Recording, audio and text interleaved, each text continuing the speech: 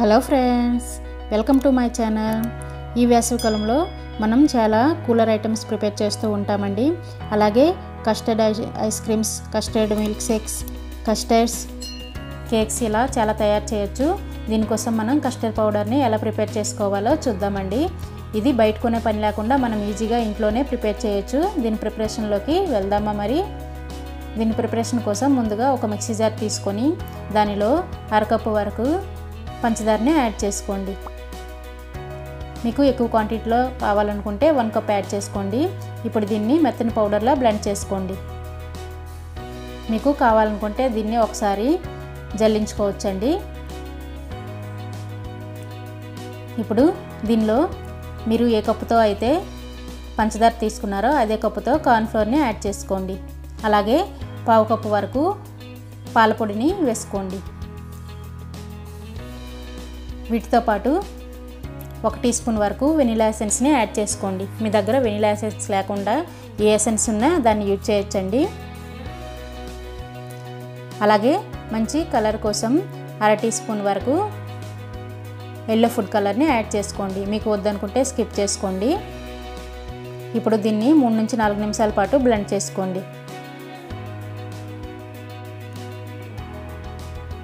మీకు ఎక్కడైనా చిన్న చిన్న ఉండలు లాంటివి ఉంటే మీరు కావాలంటే జల్లెడ పట్టుకోవచ్చు.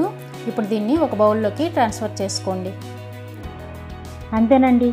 కస్టర్డ్ పౌడర్ చాలా ఈజీ కదా ప్రిపరేషన్. మీరు కూడా ఒకసారి ట్రై చేయండి. ఇప్పుడు ఈ కస్టర్డ్ పౌడర్తో మనం డ్రై ఫ్రూట్ కస్టర్డ్ని ఎలా ప్రిపేర్ చేసుకోవాలో చూద్దామండి.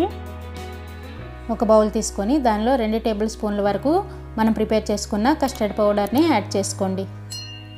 అలాగే కాచి చల్లార్చిన పాలని పావు కప్పు వరకు వేసుకోండి. ఇప్పుడు ఈ రెండింటిని బాగా కలిసేటట్లు కలుపుకోండి. ఉండలు లేకుండా నీట్గా కలుపుకోండి.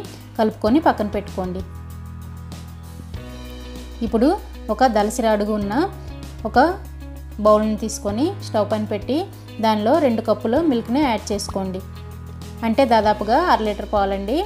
ఇప్పుడు దీన్ని బాయిల్ అవనివ్వండి.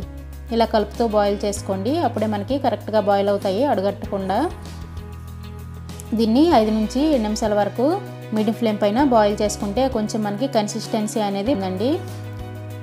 ఇప్పుడు దీనిలో పావు కప్పు షుగర్ని యాడ్ చేసుకోండి. షుగర్ అంతా కలిసే వరకు పాలని కలుపుతూ బాయిల్ చేసుకోండి. ఇలా షుగర్ కలిసాక దీనిలో మనం ముందుగా ప్రిపేర్ చేసుకున్న కస్టర్డ్ మిల్క్ని ఒకసారి కలుపుకొని యాడ్ చేసుకోండి. కలుపుకోకుంటే మనకి కస్టర్డ్ మిల్క్ అనేది అడుగంటుతుంది కాబట్టి ఈ విధముగా కలుపుతూ యాడ్ చేసుకుంటూ వేసుకోండి. మనం కస్టర్డ్ మిల్క్ యాడ్ చేసేటప్పుడు స్టవ్ని లో ఫ్లేమ్లో పెట్టుకోండి. అప్పుడే మనకి అడుగంటకుండా నీట్గా వస్తుంది. కస్టర్డ్ మిల్క్ యాడ్ చేసిన తర్వాత ఫైవ్ మినిట్స్ పాటు మీడియం ఫ్లేమ్ పైన బాయిల్ చేసుకోండి. అప్పుడు మనకి కొంచెం థిక్ కన్సిస్టెన్సీ అనేది వస్తుందండి. రంగు కూడా మంచి కలర్లోకి వచ్చి వస్తుంది. చూసారా? ఈ విధంగా లైట్గా థిక్నెస్ అనేది వస్తుంది. ఇప్పుడు దీనిలో మనం అర టీ స్పూన్ వరకు ఏలకల పొడిని యాడ్ చేసుకోండి. దీనివలన మంచి ఫ్లేవర్ అనేది ఉంటుంది. దీన్ని ఒకసారి కలుపుకొని ఒకటి నుంచి రెండు నిమిషాల పాటు బాయిల్ చేసుకోండి. పూర్తిగా చల్లారిన తర్వాత ముప్పై నిమిషాల పాటు ఫ్రిడ్జ్లో పెట్టుకోండి. ముప్పై నిమిషాల తర్వాత బయటికి తీసి ఈ మిశ్రమాన్ని అంతటిని ఒకసారి కలపండి. మనకి ముందు ఉండే కన్సిస్టెన్సీ కంటే ఫ్రిడ్జ్లో పెట్టిన తీసిన తర్వాత మనకి కన్సిస్టెన్సీ అనేది కొంచెం చిక్కబడుతుందండి. అలానే ఉండాలి. ఇప్పుడు దీన్ని వేరొక బౌల్లోకి ట్రాన్స్ఫర్ చేసుకోండి. ఇప్పుడు దీనిలో తరిగిన ఒక టీ స్పూన్ ఖర్జూరాన్ని వేసుకోండి. అలాగే సన్నగా తరిగిన రెండు టీ స్పూన్ల జీడిపప్పును కూడా వేసుకోండి. అలాగే రెండు టీ స్పూన్ల పిస్తా. వీటితో పాటు సన్నగా తరిగిన రెండు టీ స్పూన్ల బాదామును కూడా వేసుకోండి. మీరు ఈ డ్రై ఫ్రూట్స్ ప్లేస్లో ఏవైనా ఫ్రూట్స్ కూడా యాడ్ చేసుకోవచ్చండి. అలాగే ఒక టీ స్పూన్ కిస్మిస్ని కూడా వేసుకొని వీటన్నిటిని మొత్తం కలిసేటట్లు కలుపుకోండి. మీరు ఇలానే సర్వ్ చేయవచ్చు. లేదంటే ఒక ముప్పై నిమిషాల పాటు ఫ్రిడ్జ్లో పెట్టుకొని సర్వ్ చేస్తే టేస్ట్ అనేది చాలా బాగుంటుందండి. మీరు ఈ డ్రై ఫ్రూట్స్ ప్లేస్లో ఫ్రూట్స్ని కూడా యాడ్ చేసుకుంటే టేస్ట్ చాలా బాగుంటుంది.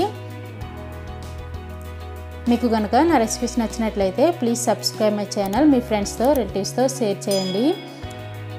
ఈ కస్టర్డ్ పౌడర్ అనేది అంత తొందరగా పాడవదండి. దీన్ని దాదాపుగా నాలుగు నుంచి ఐదు నెలలు ఎయిట్ ఎయిట్ కంటైనర్లో పెట్టుకొని స్టోర్ చేసుకోవచ్చు. ఈ కస్టర్డ్ పౌడర్తో మనం కేక్స్ అలాగే మిల్క్ షేక్స్ ఇంకా కస్టర్డ్ చాలా ప్రిపేర్ చేసుకోవచ్చండి. Thank you for watching my videos thank you friends